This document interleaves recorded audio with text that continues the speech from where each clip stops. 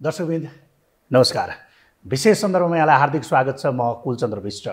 आज हामी कुराकानी गर्दैछौँ राप्रपाका नेता प्राध्यापक डाक्टर रामप्रसाद उप्रेतीसँग। डाक्टर साहब यहाँलाई कार्यक्रममा स्वागत हस् धन्यवाद। आरामै हुनुहुन्छ? ठिक छ राम्रो छ।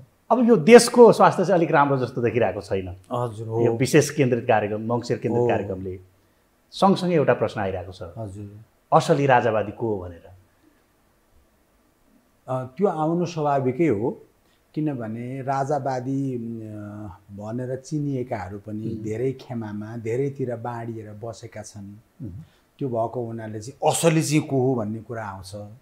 अब पर्सिकै सन्दर्भको कुरा गर्नुहुन्छ दुर्गा प्रसादजीले पनि अब राजालाई ल्याउने हो। भनेर कुरा उठाउनुहुन्छ होइन? अब अब राप्रपाको त मेन एजेन्डै मै नै संवैधानिक राजा भनेको हुनाले अब अथेन्टिक रूपबाट चाहिँ अब मैले चिनेकोमा त राप्रपा नै लाग्छ। तर राजा प्रेमीहरू नदेखिएका अरू थुप्रै सङ्घ सङ्गठनहरू रहेछन् मुलुकलाई माया गर्ने राज संस्था हुनुपर्छ भन्ने धेरै नेपालीहरू छन् धेरै सङ्गठनहरू छन्। त्यसकारण सक्कली को भन्ने अलिअलि कन्फ्युजन पर्छ। तर अब ती कन्फ्युजन टुट्दै सबै एकै ठाउँमा आउँछन् र सबै सक्कली राजावादी हुँदैछन्। झन्नै एक दर्जन आधा दर्जनभन्दा माथि नै छन् यस्ता सङ्घ संस्था अभियान सङ्गठनहरू। हजुर। अब आम जो राजावादी तपाईँले भन्नुभयो नि शुभेच्छुक हजुर। उनीहरूलाई चाहिँ भ्रम पर्ने रहेछ क्या? त्यो तपाईँ यो अर्को पार्टीहरूलाई भन्छन् क्या। पेडा पसल जस्ता भयो भनेर। हजुर। राजावादी पनि पेडा पसल जस्तै भयो। झन् झन् त्यस्तो देखिएको छ नि त। राजाका कुरा पनि गर्ने एजेन्डा पनि एउटै हुने तर छरिएर बस बसे बस्ने। मेरो लिडरसिपमा हुनुपर्छ भने जस्तो कसैलाई लाग्दो हो। होइन मेरोमा हुनुपर्छ भन्ने कसैलाई लाग्दो हो। त्यसकारण यी कुराहरू छोडेर जसको भए पनि एकै ठाउँमा उभिएर अगाडि बढ्ने अहिलेको टड्का र आवश्यकता छ। ती मध्येमा पनि हजुर। कसले निर्मल निवासलाई चाहिँ अगाडि सार्छ? को चाहिँ त्यो निर्मल निवासमा आँखामा पर्छ भन्ने कम्पिटिसन हुँदो रहेछ होइन? त्यस्तो कम्पिटिसन पनि हुँदैन। अब अब जुन संस्थालाई ल्याउन खोजिएको हो त्यो संस्थासँग नजिक हुन खोज्ने कुरा बुझ्न खोज्ने त्यो प्रयास त हुन्छ हुन्छ नै। अब हेर्दै जाउँ अब किनारा अब टुङ्गो लाग्दैछ नि त छिट्टै। तपाईँहरूलाई यस्तो लाग्दैन? यो हामी एजेन्डा एउटै माग्ने। हजुर। तर त्यो एजेन्डाको चाहिँ जुन बाजो छ हजुर। त्यसले वातावरण बिग्रिरहेको छ जस्तो लाग्दैन? सबै एकै ठाउँमा भएर एक ढिका भएर हिँड्न सक्नुपर्ने थियो जसरी गणतन्त्र मन पराउनेहरू उत्तर दक्षिण फर्केका भए पनि एकै ठाउँमा चोचोमुचो मिलाउन ढ्याक्क कोठामा बस्छन्। गणतन्त्र खतरामा परिसक्यो एकै ठाउँमा आउँ भन्छन् एकै ठाउँमा जान्छन् पनि। मिटिङ चलिरहेछ उहाँहरूको गणतन्त्र बचाउन। भने अर्कोतिर अब मुलुकको एजेन्डा बोक्ने पार्टीहरू यता र उता छरिएर बस्नु हुँदैन एकै ठाउँमा आउनुपर्छ र एकै ठाउँमा आउने अवस्था आउँदैछ। अब तपाईँ प्राध्यापक डाक्टर पनि हजुर। विगतमा विश्लेषक निर्वाचन पनि लडिसक्नु भएको व्यक्ति। हजुर। तपाईँ अब राप्रपाको नेता पनि हुनुहुन्छ। हजुर। आजको दिनमा हजुर। निर्बल निवासले हजुर।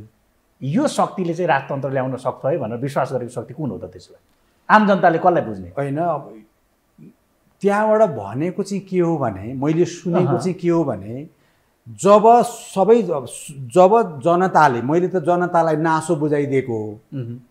र त्यो नासो अब आउनुपर्छ लिनुपर्छ भनेर जनताबाट त्यस किसिमको एक किसिम चाहिँ डिमान्ड भयो भने म त तयार छु भनेर भनिसक्नुभयो राजाले।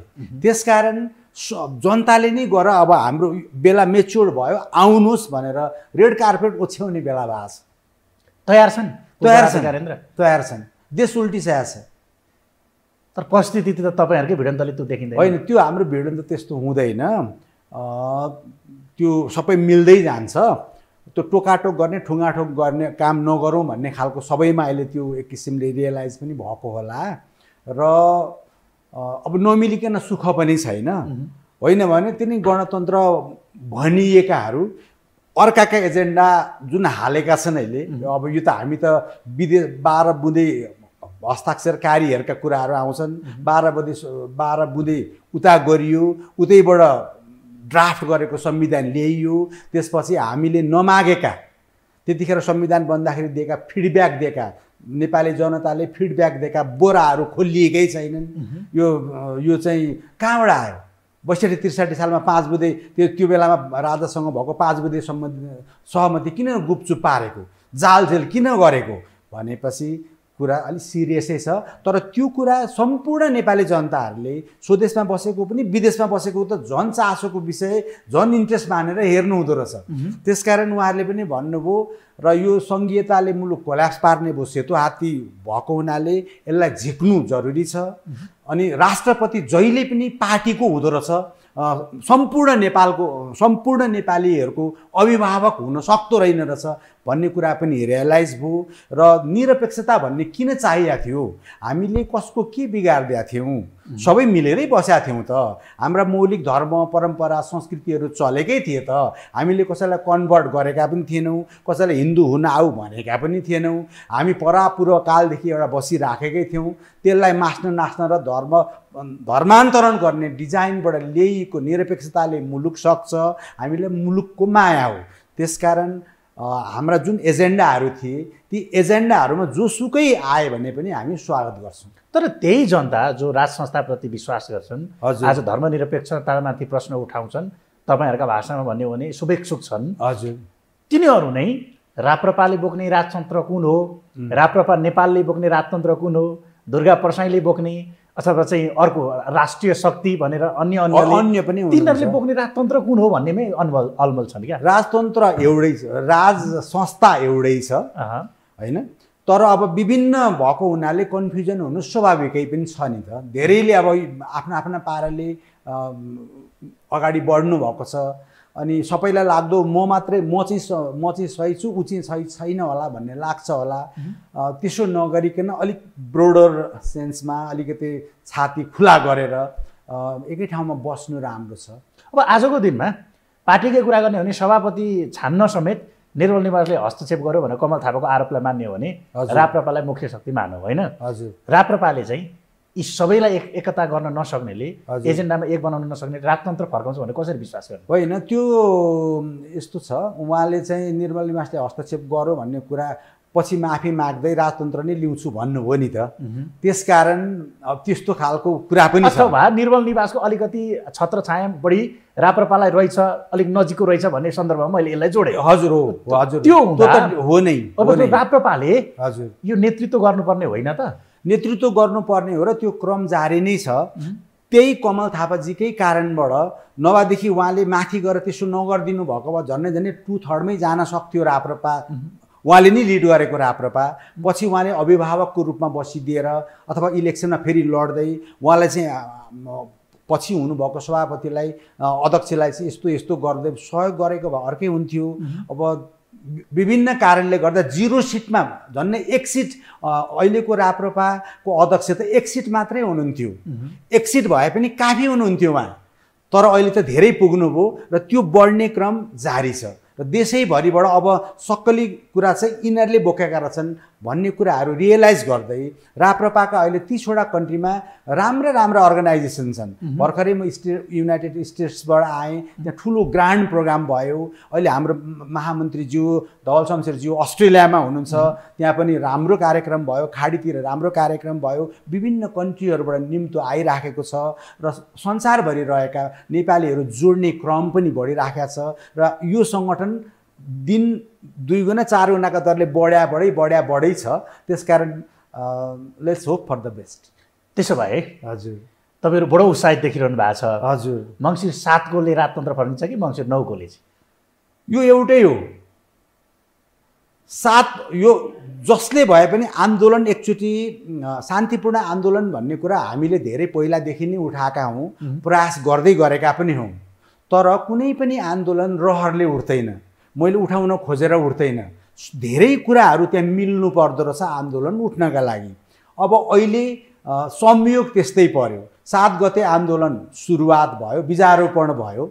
शान्तिपूर्ण आन्दोलन एउटा चाहिँ यो जागरण अभियन्ताहरूले चाहिँ जागरण स्वतः जनतालाई प्रस्तुत गरौँ नागरिकलाई प्र- प्रश्न पारौँ। हजुर। सात गते भनेको दुर्गा प्रसाईको नौ गते भनेको राजेन्द्र लिङ्गदेनको।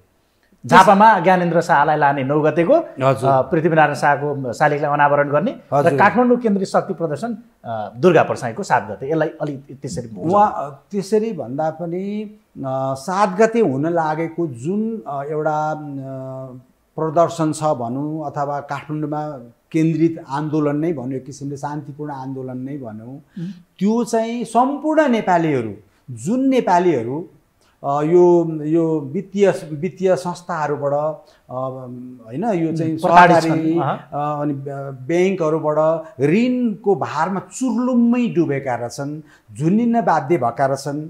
यो कुरा चाहिँ राम्रोसँग प्रष्ट रूपबाट दुर्गा प्रसाईले नै उठाउनु भएको यो कुरा चाहिँ मान्नुपर्छ। यो चाहिँ यो कुरा त मैले पनि पहिला त्यति राम्रो बुझेको थिइनँ।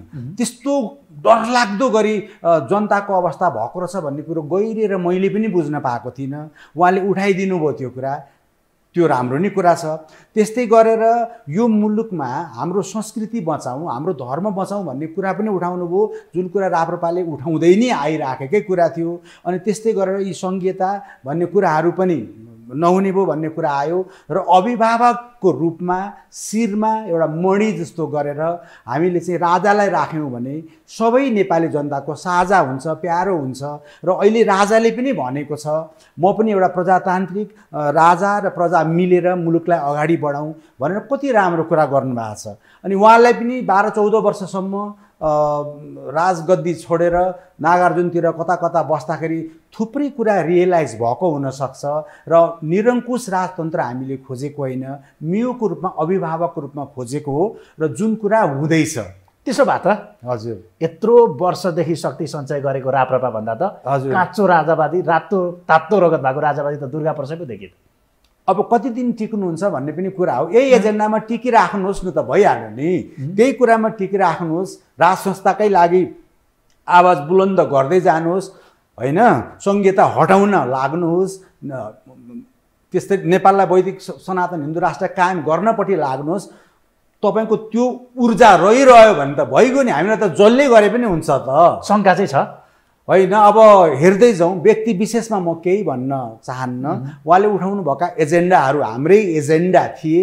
मिल्न चाहेको हामीले जसरी भए पनि मुलुक सक्ने खालको।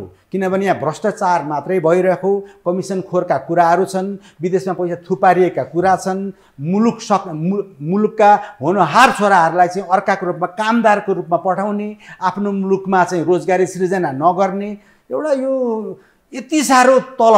एसिया दक्षिण एसिया होइन एसियाकै सबैभन्दा गरिब राष्ट्र भन्दाखेरि त्यो चसक्क भएको छ क्या मुटु तर नि अलिक जनता अलिक प्रष्ट हुन चाहिरहेका छन् क्या। जस्तो हजुर। अघि मैले प्रश्न गरेँ नि सुरुमा को असली राजावादी भने जस्तै गर्दा नि। हजुर।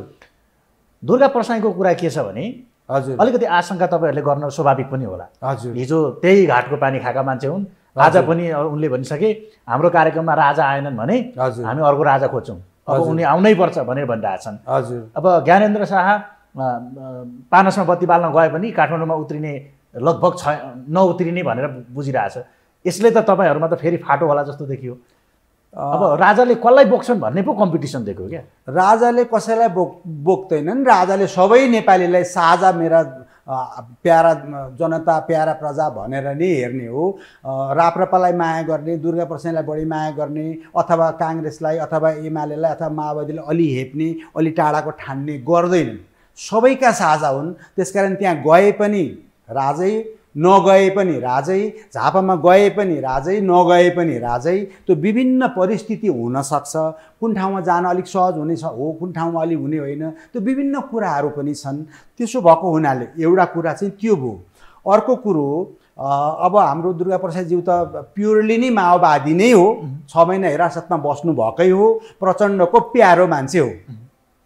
त्यसै गरेर त्यत्तिकै प्यारो हुनुभयो केपी ओलीको पनि? अनि केपी ओलीको त कतिसम्म प्यारो हुनुभयो भने एकैचोटि सेन्ट्रल कमिटीमा ढाक्कै पुग्नुभयो उहाँ त नाति नै। यता ना अब नाति र हजुरबाको साइनो पनि छ। त्यसकारण अब त्यसपछि अहिले यता राजा नै हुनुपर्छ भन्ने कुरा छ। अब यता रा त्यहाँ गइएला होइन हौ राजाको हुँदो रहेछ। यतातिर अर्कैलाई लिउँ भन्ने अर्को राजा बनाउँछु भन्नुहुन्छ भने त्यसको पनि मूल्याङ्कन हुन्छ होला। खैर यस यतापट्टि अहिले हामी नजाउँ। तर नि तपाईँहरू जस्तो जो राजा शक्तिको रूपमा आउनुपर्छ भन्नेलाई हजुर झट्ट एकचोटि टेस्ट हुन दिउँ भन्ने तपाईँहरूको पनि हजुर। निर्मल निवासको पनि सात गते चाहिँ हेरौँ न भन्ने। खालको बुझाइ हो यस्तो हो सात गते त स्वत स्फूर्त रूपमा मान्छे आउँछन् यो रोक्नै सकिँदैन म किन पनि भन्न सक्छु भन्नु न। यो पहिला सुरु सुरुमा त महेश बस्नेत र दुर्गा पर्साईको टसल जस्तो थियो।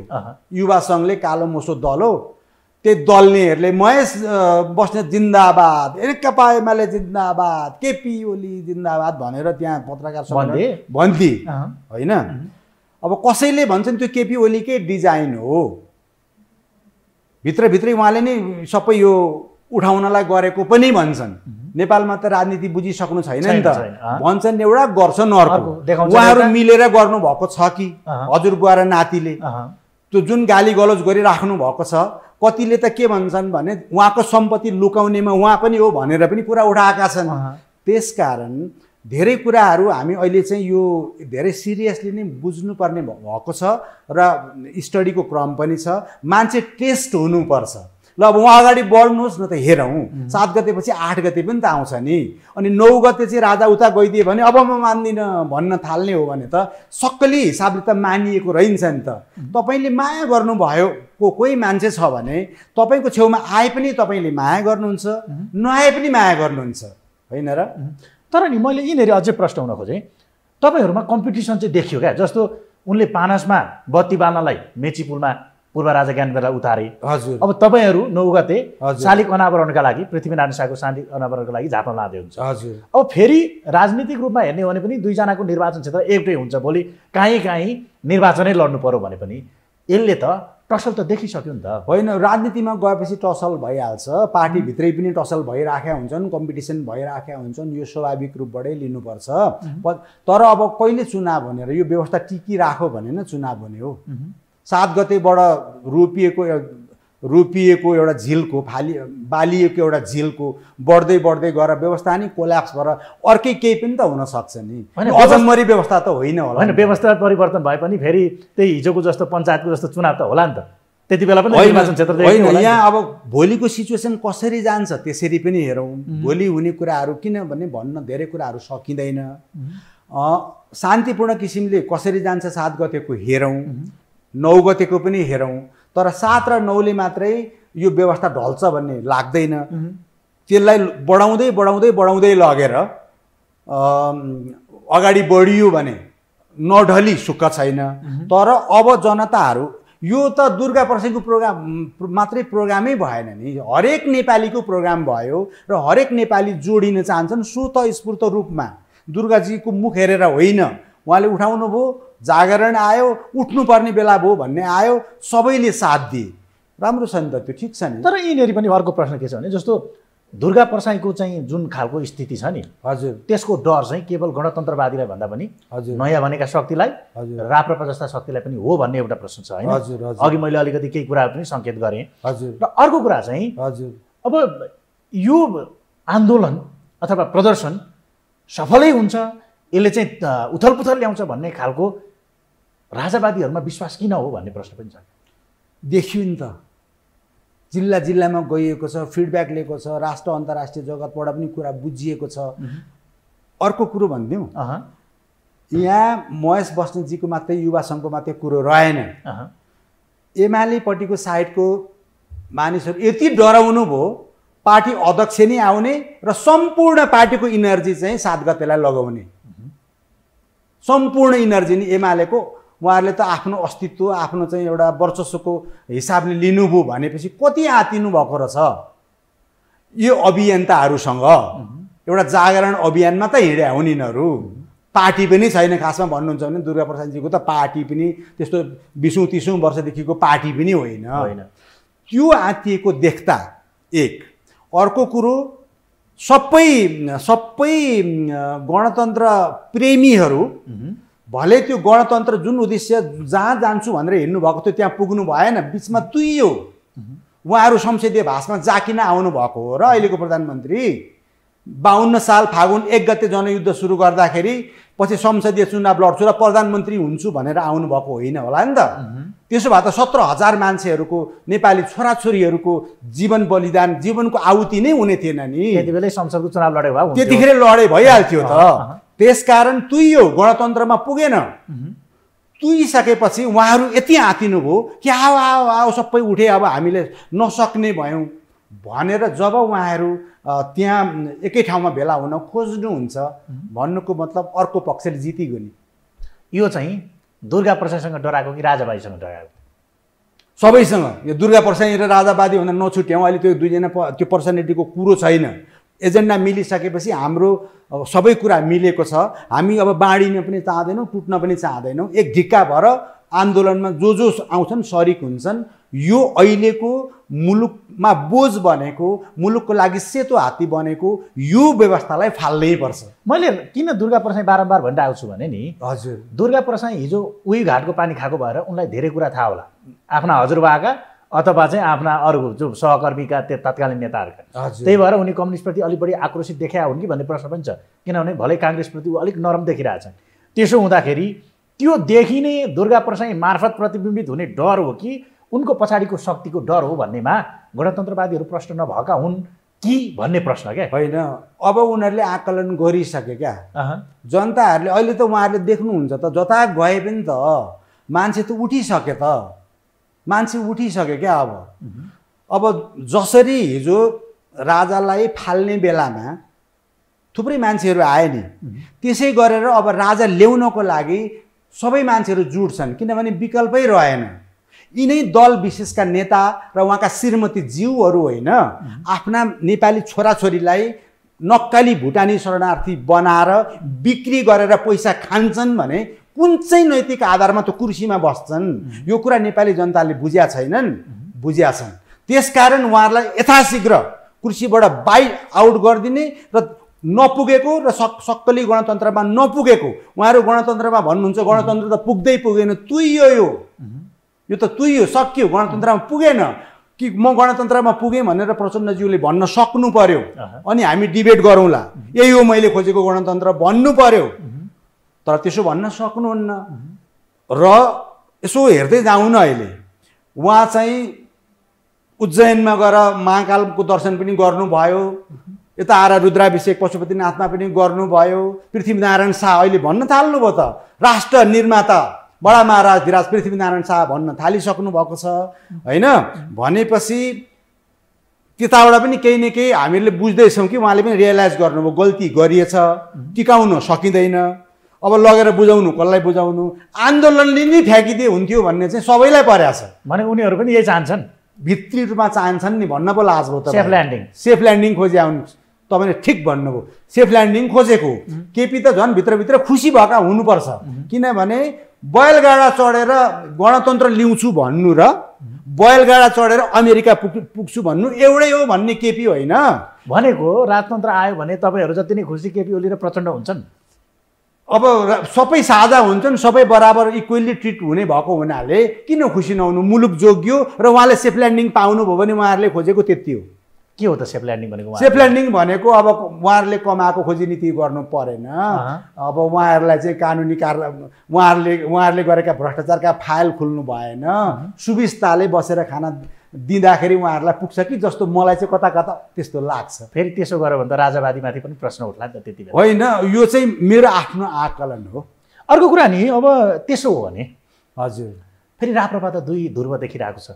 जस्तो राप्रपा नेपालले। जुन शक्तिले गरे पनि हामी सहयोग गर्छौँ साथ दिन्छौँ भनेर भन्नुभयो। अब तपाईँहरूको वरिष्ठ उपाध्यक्ष रविन्द्र मिश्रले पनि साथ दिने कुरा गर्दै हुनुहुन्थ्यो। हजुर। अब आज प्रकाश चन्द्र नवरी डाक्टर प्रकाश चन्द्र नवरीले पनि हाम्रो साथ नैतिक समर्थन रहनुपर्छ भन्नुभयो।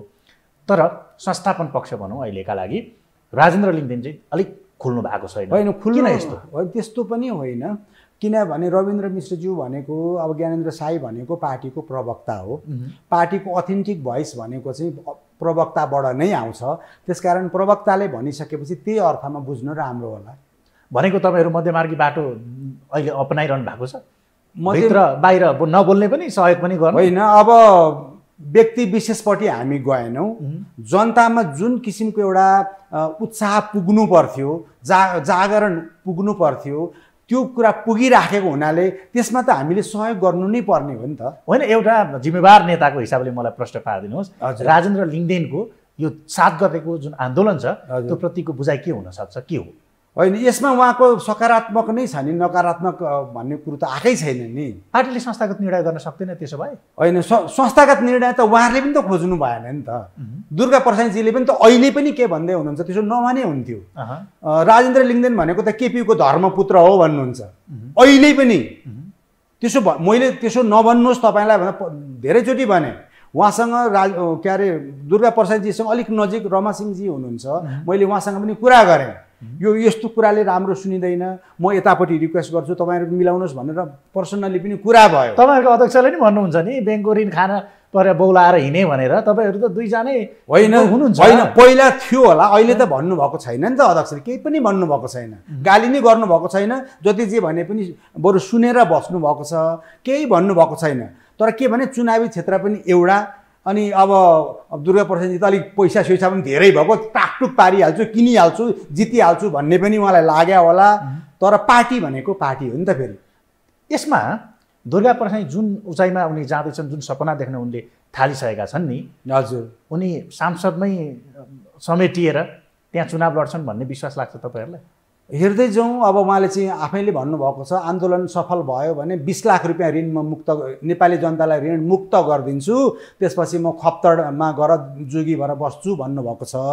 अब हेर्दै जाउँ के गर्नुहुन्छ? अब यो प्रश्न चाहिँ फेरि त्यहीँ गएर जोडिने भयो क्या। यसको मतलब चाहिँ दुर्गा प्रसाईको आन्दोलनलाई आन्दोलनमा राजेन्द्र लिङ्गिन त्यो दिन त्यहाँ देखिन्छन् कि देखिँदैनन् भन्ने अब चासो हो क्या। होइन अहिले उहाँको अहिले भर्खरै उहाँको ससु सासु को दिवङ्गत भएको अवस्था छ। त्यो भएको हुनाले अब उहाँ त्यहाँ पनि हुनुहुन्छ र नौ गतेको आयोजक नै पनि भएको हुनाले टाइम अलिकति मिल्छ मिल्दैन। सकभर चाहिँ आउने नै भन्ने कुरा मैले सुनेको छु। को को हुन्छन् त्यो दिन राप्रपाका नेताहरू? अब ज्ञानेन्द्र साईजी हुनुहुन्छ कि जस्तो मलाई लाग्छ रविन्द्र मिश्रज्यूको पनि राम्रो नै छ। अब कति एभाइलेबल हुन्छन् पार्टीले जानलाई खुल्ला गरिदिएछ। अब रविन्द्र मिश्र र राजेन्द्र लिङ्गदेनको त टसल छ भनिरहँदा राजेन्द्र लिङ्गदेन आउनु भयो भने त झन् प्रश्न उठ्छ नि। अब आउन पनि सक्नुहुन्छ नआउने भन्ने छैन। तर त्यसै गरेर खिचिजोरी गरिराख्नु भयो भने चाहिँ आउने मान्छेलाई पनि अलिक गाह्रो होला नि फेरि। होइन मैले प्रश्न यसलाई कहाँ जोड्न खोजेको भने यदि यो स्थिति रह्यो हजुर। अब यसै पनि आज दुईवटा धार देखिरहेको छ तपाईँहरूको पार्टीभित्र। यो अवस्था रह्यो भने त दुर्गा प्रसाईले त राजावादी शक्तिलाई एक गर्ने होइन राप्रपा चाहिँ फुटाइदिने भयो भन्ने तर्क छ क्या। फुट्दैन राप्रपा फुट्ने ठाउँै छैन नि। राप्रपा फुट्दैन बरु जोडिन्छ कमल थापाजी पनि आउनु नै हुन्छ यतापट्टि जस्तो लागेको छ मलाई। अहिले बल्ल रियलाइज गरेँ राज संस्था र मेरा पुराना एजेन्डाहरूपट्टि नै लाग्छु। भन्नुको मतलब अब यतै आउनुभयो भन्ने कुरा बुझौँ। जुट्दै पनि त छन् नि। तर तपाईँहरू यही व्यवस्थामा टेकेर सभामुख खाइरहनु भएको छ कतै? कतै मुख्यमन्त्रीसम्मको चर्चा हो। केन्द्रमा सत्तामा जानुभयो। तपाईँहरू त्यो हुनुहुन्छ भलै त्यहीँ गएर हामी त्यहीँ लड्छौँ भन्नुहुन्छ।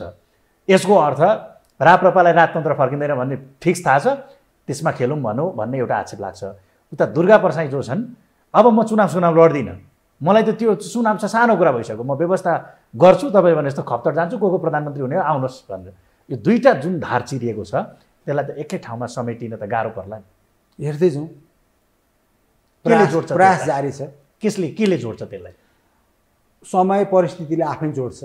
यसरी एकैचोटि सबै पार्टीको सातो जाने गरेर जनतामा चेतना आउला काठमाडौँमा आउलान् भन्ने उहाँहरूले पनि सोच्नु भएको थिएन। त्यस्तै गरेर भोलि अर्को खालको सिचुएसन पनि हुन्छ। हरेक कुरा मान्छेलाई परिस्थितिले तात्कालीन अवस्थाले गराउने गर्छ होइन? लेटस बिकम भेरी अप्टिमिस्टिक तर यही राप तापमा पनि तपाईँहरूले भने गणतन्त्रवादी दलहरूलाई पनि फाइदा छ नि। जस्तो यही शक्तिलाई प्रयोग गर्दै यही अवस्थालाई प्रयोग गर्दै खतरा छ भनेर शक्तिको ध्रुवीकरणमा प्रचण्ड लागेका छन्। केपी शर्मा ओली यत्तिकै बसिरहेको थिए गठबन्धनलाई कहाँ टेस्ट गरौँ सङ्गठनलाई भइरहेको थिए त्यही दिन टेस्ट गर्ने प्रयासमा छन्। उता नयाँ शक्तिका नाममा राष्ट्रपाले पनि एउटा निराशाको केही भोट चाहिँ त्यहाँ भोगेको छ जो गणतन्त्रको कट्टर पक्षधर हुँ भन्छ। यसको अर्थ त गणतन्त्रवादीहरू त झन् बलिया र चाहिँ सहजता सहजतातर्फ पो छन् त। त्यस्तो लाग्दैन? उहाँहरूलाई शुभकामना छ। उहाँहरू एकदम सशक्त हुनुहोस् मुलुकप्रति चिन्तित हुनुहोस् सक्षम हुनुहोस् काबिल हुनुहोस्। शुभकामना छ। तपाईँहरूले जुन निराशाको भोट बोक्दै हुनुहुन्छ नि हजुर। मान्छे क्यास गर्न खोज्दै हुन्छ नि हजुर। त्यो त एउटा त राष्ट्रपाले बोकिसक्यो होइन र? हामीले निराशाको भोटै बोकेका छैन। हामीले त आशाका भोट मात्रै जोगेका बोकेका हौँ। साँच्चीकै कुरो बुझेका मान्छेहरूले साँच्चीकै मुलुकलाई माया गर्ने मान्छेहरूले हालेका मत हुन्। मेरो एक मतको धेरै भ्यालु छ। अरू कसैको प्रभावमा अरू कुनै कुराको प्रभावमा परेर कास्ट गरिएको मतभन्दा स्वच्छ हृदयले दिएको मायाले दिएको मतको भ्यालु धेरै हुन्छ। त्यसकारण हामीले जति पायौँ एक सिटबाट चौध पुग्दै बढ्या बढेछौँ त। अहिले त कुनै पनि ठाउँमा तपाईँ कर्णालीको प्रत्येक जिल्लामा पुग्नुहोस्। ज्ञानेन्द्र साई पुगेका ठाउँमा हजारौँ लाखौँको सङ्ख्यामा मान्छेहरू जम्मा हुन्छन्। किन? हिजो मात्रै ललितपुरको एउटा दुर्गम ठाउँमा गएर गर्दाखेरि पनि बत्ती सत्ती काटेर डिस्टर्ब गर्न खोज्दाखेरि पनि मान्छे। त्यसकारण यो त्यहाँ मात्रै होइन मैले त हरेक ठाउँमा हिँडेको छु। यो यस्तो खालको उभार आइरहेछ। उभार किन आयो भन्दा गणतन्त्रवादीहरू जो गठबन्धन बनाएर सरकारमा हुनुहुन्छ उहाँहरूले व्यवस्थालाई राम्रोसँग नचलाइदिएको समानुपातिक भनेको के हो? श्रीमती ल्याउने ठाउँ हो। श्रीमतीलाई ल्याएर टपक्क राख्ने अरूको योगदान हुँदैन। त्यस्तो ज्यादती गरेको हुनाले राप्रपालाई फाइदा छ। त्यसकारण हामीले नैराश्यताका र नेगेटिभ भोट पाएकै होइन। हामीले पोजिटिभ भोट पाएको हो। चौध पायौँ बढ्दैछ। एकबाट चौध पुग्दैछौँ। यसै गरी अरू बढ्दै गइरहेको छ र सुन्दर भविष्य पनि छ र मुलुक त्यतातिर फर्किसक्यो। राप्रपाका एजेन्डातिर मुलुक फर्किसक्यो। त्यसकारण राज राज राजगद्दीमा राजा बस्छन्। अब हुने के? उहाँहरूले चाहिँ भोलि प्रतिकार गर्छु भन्नुभएको छ। उहाँहरूले प्रतिकार गर्नुपर्ने किन? महेश उहाँलाई चाहिँ छोडिदिए भइहाल्थ्यो त दुर्गा प्रसाईलाई। आन्दोलन गर हेर्छौँ भन्दा छोडिदिँदा हुँदैन थियो प्रतिकार गर्छौँ हामी। भनेर सङ्गठन पार्टी नै खनिनु पर्थ्यो। त्यो पनि प्रजातान्त्रिक प्रयास हो र प्र्याक्टिस हो र होइन नि। यसो हेर्दाखेरि त। त्यसकारण प्रतिकार गर्न खोज्नुभयो भने त झनै सकिहाल्नुभयो। कर्फ्यू लगाउनु भयो भने पनि सकिनुभयो। र अब कसरी अगाडि बढ्छ? एक्साइटिङ छ र सबै मान्छेहरूले संसारभरि रहेका मान्छेहरूले देशी विदेशीहरूले पनि एकदम ध्यान दिएर हेरेका छन् सात गतेलाई प्रतिष्ठाको कुरा छ। यहाँनिर दुर्गा प्रसाईले सङ्केत गरे जस्तो। राजा स्वयं अब सडकमा आउने बेला भइसक्यो अभिभावकत्व लिने बेला भइसक्यो। तर उनी आउन चाहिरहेका छैनन् भनेर। जुन सङ्केत गरेका छन् नि। परिस्थिति त्यस्तो त होइन तपाईँहरू चाहिँ बढी तातिने त्यो भन्छ नि ताप्के भन्दा भिड बढी तातिने खालको दृश्य देखाए त होइन राजाको यही कुरामा हामी र राजामा फरक भनेकै त्यही हो। हामीहरू चाहिँ भ्याट्टै भनिहाल्छौँ आइहाल हिँडिहाल बोलिहाल माग लगाइहाल भन्ने चाहिँ हाम्रो सोचाइ हुन्छ। राजा नै भइसकेको मान्छेले जुन राजालाई त्यसकारण त अरू मुलुकहरूमा जाँदाखेरि राजकीय सम्मानका साथ लान्छन् त क्वालिटी हुन्छ क्या। बाटामा हिँड्न मिल्ने कि नमिल्ने हिँड्दा राम्रो हुने कि नहुने त्यो राजाले अलिक बुझेको हुन्छ। त्यसकारण हामी हामी जस्तो हुँदैन नि त फरक परिहाल्छ नि। तर केही समय अगाडि साम्प्रदायिकताको जुन बीजारोपण भयो त्यसमा देखिएका अनुहारहरू सन्त महन्तका नाममा हजुर। त्यसै गरेर अर्को पक्ष पहिचानका नाममा त्यो पनि कहीँ कतै दुर्गा प्रसाईका कार्यक्रमहरूमा देखिँदै गर्दा यो चाहिँ निर्णायक आन्दोलनभन्दा पनि गिजो लिने आन्दोलनको एउटा अङ्क हो र हिजोको अङ्कको विकसित रूप हो भनेर शङ्का गर्नेहरू पनि छन्। शङ्का गर्ने प्रशस्त ठाउँहरू छन् तर अहिले शङ्का नगरौँ। साँच्चीकै मुलुकको आवश्यकता पर्यो भनेर समयले सिर्जना गरेको कुरा हो।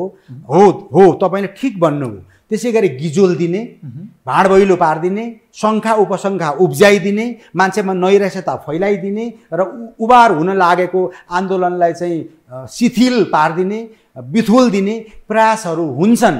त्यसकारण यसबाट सतर्क हुन जरुरी छ। सात गतेको र नौ गतेको तपाईँहरूले चाहेको उपस्थिति त्यो अनुसार भएन भने हजुर। त्यसले चाहिँ राजतन्त्रमा तपाईँहरूले भने जति जुन आक आकर्षण छ भन्ने भाष्य छ। गलत रहेछ भन्दा हामीले भन्दा बुझ्दा भयो बुझी त्यसरी बुझी नहालौँ। किनभनेदेखि अब हामीहरूले चाहिँ त्यति कन्फिडेन्ट त हुनु पऱ्यो? होइन। पाँच लाख मान्छे उपस्थित भएनन् तिन लाख मान्छे उपस्थित भएनन् भनेर रुँदै हिँडिँदैन नि त। उपस्थित भएनन् भने फेरि आठ गते ल्याउने कोसिस गरिन्छ नौ गते ल्याउने कोसिस गरिन्छ। त्यसकारण तर हामीलाई के कन्फिडेन्स छ भने त्यो दिन स्वतः स्फूर्त रूपमा मान्छे आउँछन् र आइ नै सकेका छन्। अब त कर्फ्यू लगाएर पनि रोक्न सकिँदैन। सात गते भन्दा अगाडि नै छ गते राति सम्ममा नै मान्छे पस्ने मान्छेहरू पसिसक्छन्। त्यो आउने मध्येमा नि? हजुर। त्यो आउने मध्येमा हजुर। दुर्गा पर्साईका मान्छे होलान् कति कति हजुर। बिस लाख मिना आएको मान्छे होलान्।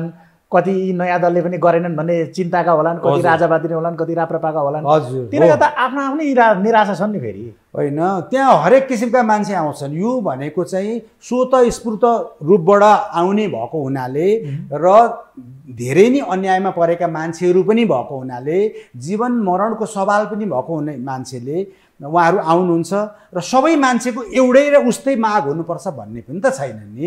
आएका मान्छेहरूको अपेक्षा बेग्लै हुनसक्छ इच्छाहरू बेग्लै हुन सक्छन् होइन त्यसकारण हामीले सबैको एउटै हुनुपर्छ भन्ने फ्रेम राख्न सक्दैनौँ। विभिन्न किसिमका मान्छेहरू आउँछन् तर गणतन्त्र विरोधी नै आउँछन्।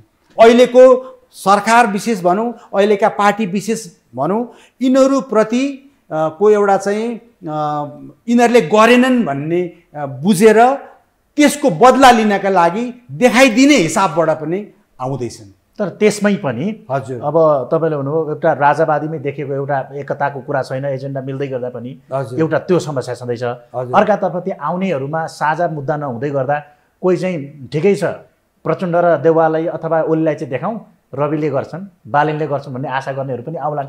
त्यो शक्तिहरू त। तपाईँहरूसँग भोलि निराशा भनेर तपाईँहरूले देखाउन त काम लाग्यो।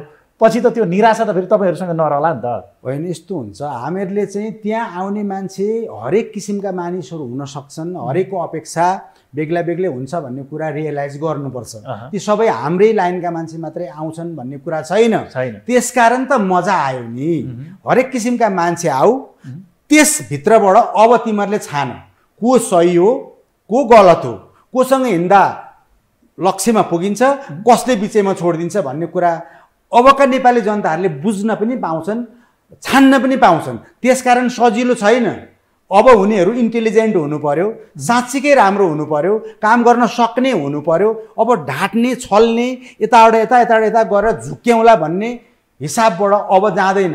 मलाई लाग्छ अबका मतहरू चाहिँ रक्सी र मासुको भरमा मात्रै खस्छन् भन्ने त्यो कुरा अब चाहिँ ब्रेक हुन्छ भन्ने मलाई कता कता लागेको छ।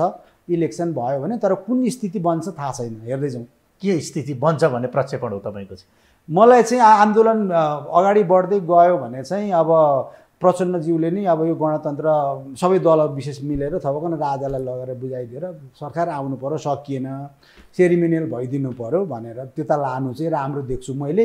सायद त्यस्तै हुन्छ पनि होला। अबको राजा को त त्यसो भए? र ज्ञानेन्द्र नि जो राजा छन् जसले नासो बुझाएका हुन् उही हुन् नि राजा अरू त सोच्नै परेन नि। भनेको युवराज पारस वीर विक्रम शाह। त्यो कुरा अहिले भन्न सकिँदैन। अब त्यो चाहिँ अहिले म केही भन्न सक्दिनँ। मलाई त्यसको बारेमा डिटेलमा थाहा पनि छैन।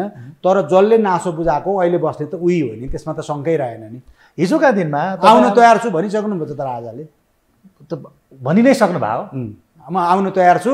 जनताको डिमान्ड भयो माग अनुसार म प्रिपेयर्ड छु आउन। सार्वजनिक अभिव्यक्ति दिनु पऱ्यो नि त त्यति दिइसक्नुभयो त। बेला आए जस्तो लाग्यो। म तयार छु भनिसक्नुभयो त सार्वजनिक रूपबाट। त्यसै भन्नु भएन नि उहाँले तर तपाईँ जस्तो जो निर्वाचन लडिसकेको व्यक्तिलाई हजुर। यसैबाट छानिएर गएर देशको चाहिँ प्रमुख तहमै पुग्न सक्ने व्यवस्था भन्दा हजुर। त्यहाँ गएर कुनै एउटा कुल वंशको व्यक्ति चाहिँ सधैँ उच्च स्थानमा रहने व्यवस्था किन मन पर्नु? हो मलाई किन मन पर्यो भने त्यो एउटा मात्रै संस्था हामीले चाहिँ राखौँ। साझा संस्थै भएन क्या। म कार्यकारी भएर जितेरै गएँ म म नै प्रमुख भएर गएँ भने पनि मेरै पार्टीको मात्रै हुँदो रहेछु क्या। कोही विशेष अर्को पार्टीबाट गयो भने पनि त्यही पार्टी विशेषकै मात्रै हुँदो रहेछ साझा हुँदो रहेन रहेछ। हामीले त पूर्व राष्ट्रपति ज्यूहरूकै गतिविधिबाट पनि धेरै कुराहरू आकलन गर्न सक्छौँ। त्यसकारण त कार्यकारी प्रधानमन्त्री कार्यकारी त हामी नै हो नि त। हामीले त हाम्रो डेमोक्रेटिक राइट हाम्रो हाम्रो पावर त दिएको होइन नि त। नेपाली जनताको पावर त नेपाली जनतामै छ। खालि एउटा चाहिँ प्रत्येकचोटि राष्ट्रपति हुने अब उहाँलाई पाल्नु पर्यो। महल दिएर गार्ड दिएर भत्ता दिएर सेक्रेटेरिएट दिएर पाल्नु पर्यो उपराष्ट्रपतिलाई पाल्नु पर्यो अर्को हुन्छ उसलाई पाल्नु पर्यो अर्को हुन्छ उसलाई पाल्नु पर्यो। ओहो अनि गरेको के छ त भन्दा यो नागरिकता विधेयक काइते पाराले पास गरिदिने थुप्रै कुरा छन्। अनि दिउँसै मान्छे काट्ने हत्याराहरूलाई आम माफीमा सिग्नेचर गर्दाखेरि हात कामेन। अनि त्यस्तै हुँदो रहेछ र हामीले राष्ट्रपति हुँदैन। मियोको रूपमा राजा राखौँ कार्यकारी चाहिँ प्रधानमन्त्री बनाऊ सानो क्याबिनेट बनाऊ भनेको अर्थ छ क्या।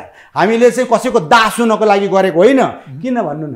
किन? त्यही व्यवस्था ढाल्नलाई निरङ्कुश भयो भनेर ढाल्नका लागि मेरा जीवनका सम्पूर्ण वर्षहरू त्याग र तपस्यामा बितेका छन् आन्दोलनहरूमा बितेका छन्।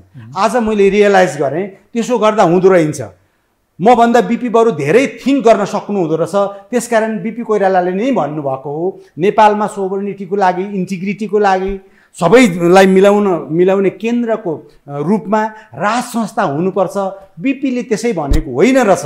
त्यसकारण काङ्ग्रेस जनले यो कुरा बुझ्न राम्रो। काङ्ग्रेस जनले पनि बुझेको जस्तो लाग्छ। र अब आखिरी गणतन्त्रमा पुगिएन भने भनेको भनेको जन भनेको चाहिँ गणतन्त्रमा पुगिएन बिचैमा तुएर यही संसदीय व्यवस्थामा जाकिनु भन्दा आखिरी धेरै टिक्न त दिँदा पनि दिँदैनन्। होइन? एघार प्रतिशत मत त पाउनु भएको हो नि प्रधानमन्त्रीले। होइन? त्यत्र त्यत्र जाइन्ट जाइन्ट भनिएका पार्टीहरूलाई अहिलेसम्म जोतेर ल्याउन सक्नु भएको छ। त्यसरी जोत्न सक्नु भएकोमा हाम्रा सम्माननीय प्रधानमन्त्रीज्यूलाई बधाई दिन चाहन्छु। तपाईँकै कारणबाट यो व्यवस्था ढलेको हो राजाको सिंहासन खुसिएको हो। तपाईँकै हातबाट बुझाइदिनु। राम्रो हुन्छ। तर यसो भन्दै गर्दा फेरि जस्तो तपाईँहरूले सपना देखाउँदै गर्दा हिजो प्रचण्डले देखाएकै सपना जस्तो चमत्कारको सपना देखाउँदै हुन्छ।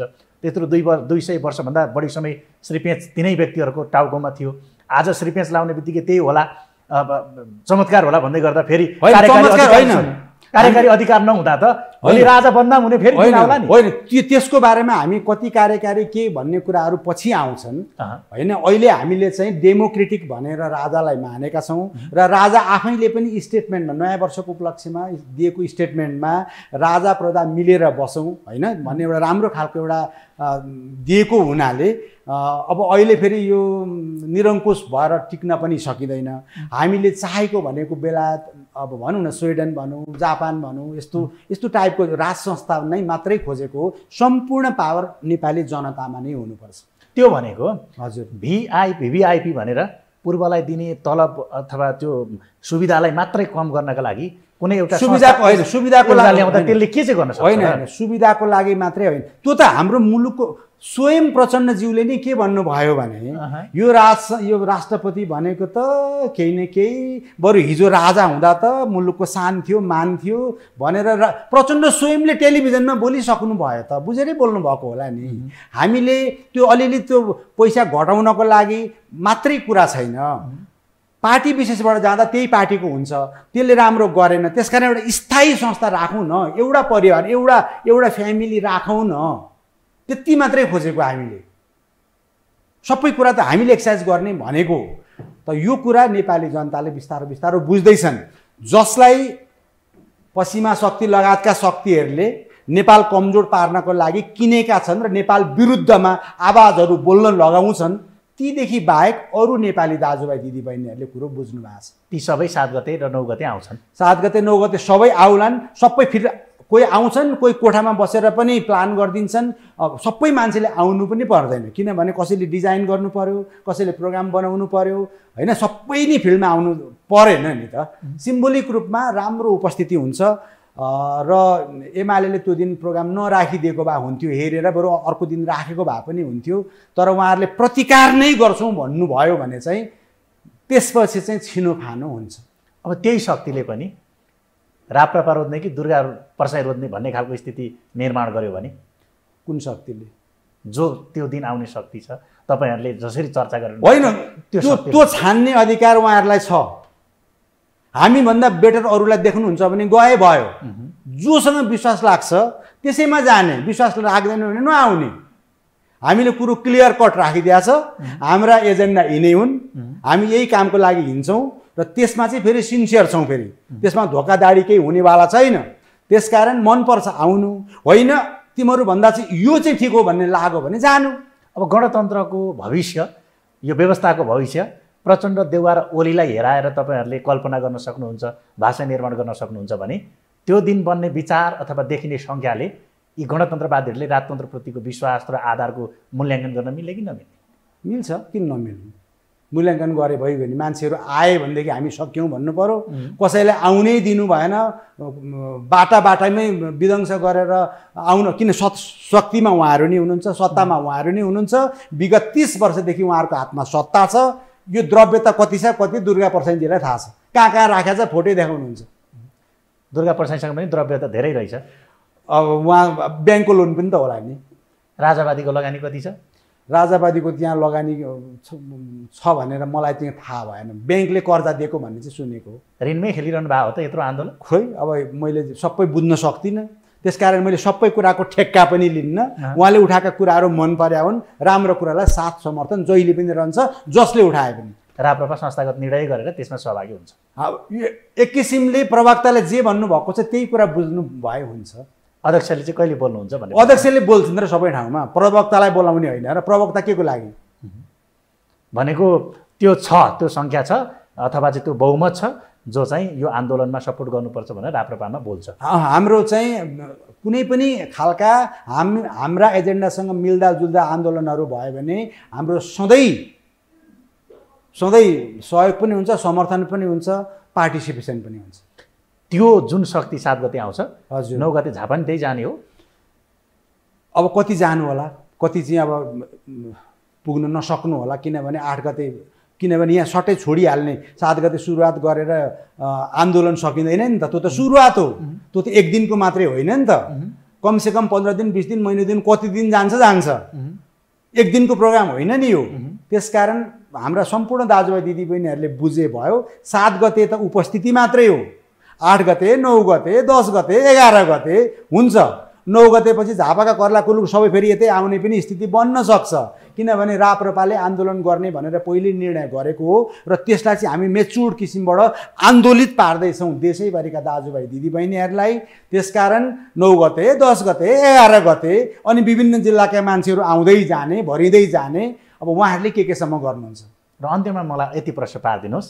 तपाईँहरूलाई लागेन एकता एकता एकातिर मेचीतिर र अर्को कार्यक्रम चाहिँ काठमाडौँमा गर्दै गर्दा त्यही शुभेच्छुकहरू बाँडिन्छन् भनेर होइन लागेन।